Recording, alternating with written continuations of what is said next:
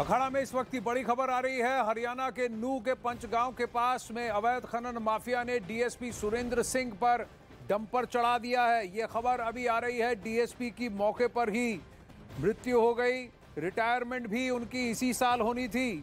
ज़िले की खनन माफिया की ये सबसे बड़ी घटना है, जहाँ अवैध खनन माफिया ने डीएसपी सुरेंद्र सिंह पर डंपर चढ़ा दिया है। मेवात हरियाणा के नू के पास पंच गाँव में घटी है ये घटना। तावड़ू के डीएसपी हैं सुरेंद्र सिंह, जिनके साथ ये घटना पंचगांव के पास हुई है। अवैध खनन माफिया ने डंपर चढ़ा दिया।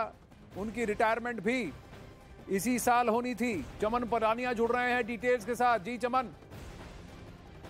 जी आनंद देखिए हरियाणा के जो नू के गाँव, पंच पंच गाँव की ये घटना है वो पंच गाँव की पहाड़ियों में पुलिस ने जो था, वो डीएसपी सुरेंद्र सिंह की अगुवाई में जो है, था, जो खनन माफिया के खिलाफ जो थी, कार्रवाई के लिए गए हुए थे, और दिन दिहाड़े जो खनन माफिया थे, उनके एक ट्रक ट्रक ने जो जो एक ट्रक चालक था, उसने जो पूरा का पूरा जो डिपर था, वो डीएसपी के ऊपर जो है चढ़ा दिया और डीएसपी सुरेंद्र कुमार की जो है वो मौके पर ही मौत होगी और उसके बाद जो था वो वहाँ से जो खनन माफिया थे वो भाग गए और अब पुलिस की जो टीमें थी वो वहाँ पर पहुँच गई है और इसकी जो जाँच पड़ताल है, वो भी की जा रही है कि कौन ये खनन माफिया के लोग थे जिन्होंने इस घटना को अंजाम दिया है।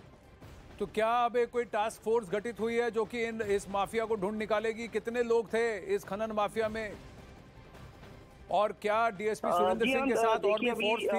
हरियाणा पुलिस के जो अभी बड़े अधिकारी हैं वो मौके पर पहुँचे हैं और अभी जो है इस मामले में पूरी जाँच की जा रही है कि कौन ये खनन माफिया के लोग थे जिन्होंने इस जो नू के जो पंच गाँव की जो पहाड़ियाँ थी वहाँ पर जो है खनन माफिया का अवैध रूप से जो काम चल रहे थे कर रहे थे उसको पकड़ने के लिए जो डीएसपी सुरेंद्र की जो एक टीम थी जो वो वहाँ पर उनको पकड़ने के लिए गई थी और उनके ऊपर जो है, उन्होंने जो एक बड़े ट्रक से जो है हमला किया और डीएसपी की जो है मौके पर मौत होगी उसके बाद जो है, वो वहाँ से भाग गए हैं और पुलिस अब इस पूरे मामले की जाँच कर रही है और उसके बाद ही पुलिस जो है पूरे तरीके से बताएगी कि कितने लोग इस जो इस घटना में जो है, वो शामिल हुए हैं। फ़िलहाल जो है, एक की जो है मौत अभी की जो पुष्टि जो है हो चुकी है।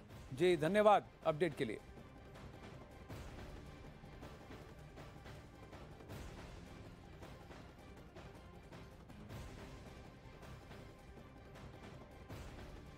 इलाके